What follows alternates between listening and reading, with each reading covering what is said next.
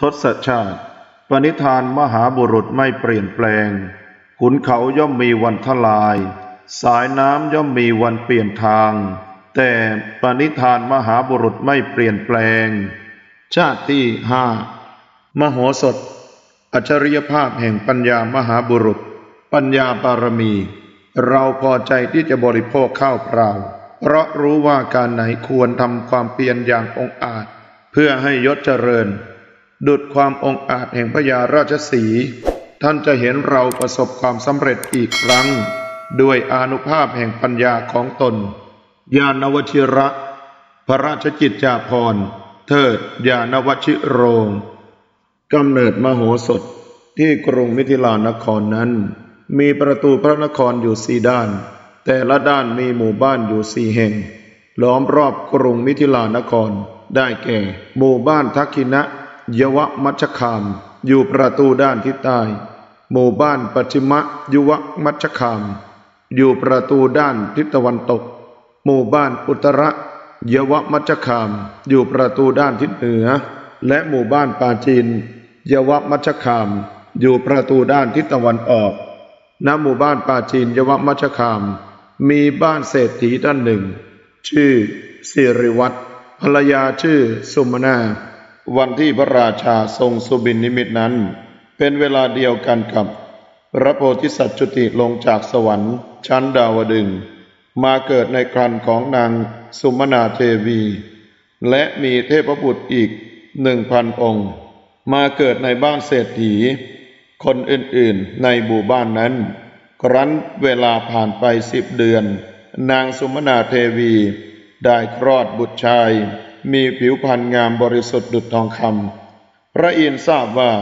พระโพธิสัตว์คลอดจากคันมารดาในวันนี้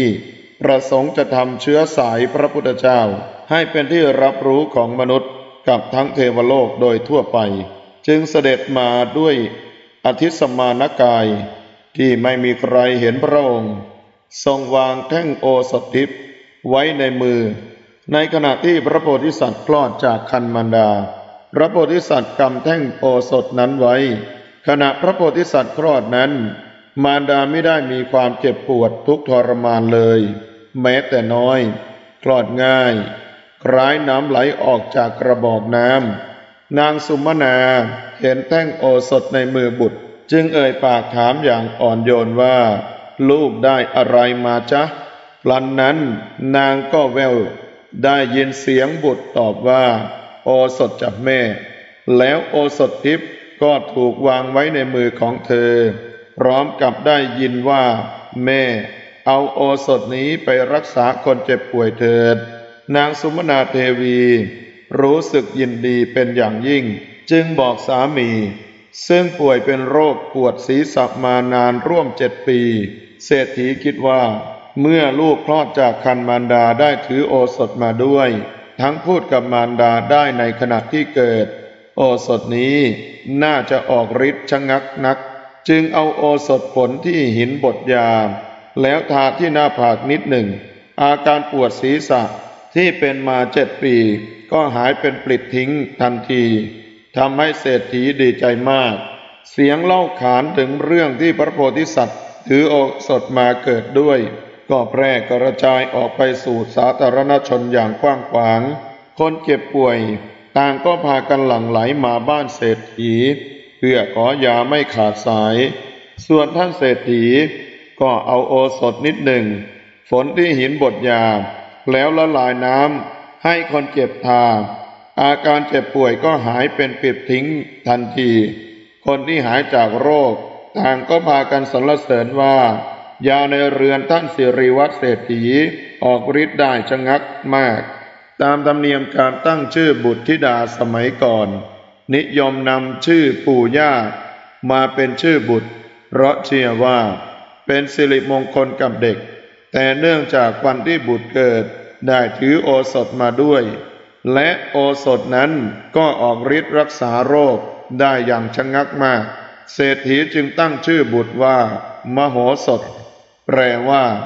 ผู้เกิดมาพร้อมยาขนาดใหญ่ ตามคำที่ชาวบ้านเรียกว่า โอสถนี้มีคุณมาก โดยนำคำว่า มหาที่แปลว่าใหญ่ กับคำว่า โอสถ ที่แปลว่ายา มาผสมกัน ท่านเศรษฐีคิดว่า บุตรมีบุญมาก นอกจากจะมีโอสถมาด้วย ยังพูดกับมารดาตั้งแต่แรกเกิด ไม่น่าจะเกิดมาคนเดียว จะต้องมีเด็กคู่บุญมาเกิดด้วย จึงให้สอบถามดู ก็ได้ข่าวว่า มีทารกเกิดในวันเดียวกันถึงหนึ่งพันคน เศรษฐีจึงให้เครื่องประดับ และนางนมแก่เด็กทั้งหนึ่งพันคน ให้จัดงานมงคลแก่ทารกทั้งหมด พร้อมกับพระโพธิสัตว์ เมื่อพระโพธิสัตว์เจริญวัย ก็มีพวกเด็กทั้งหนึ่งพันคนนั้นเป็นเพื่อนสนิท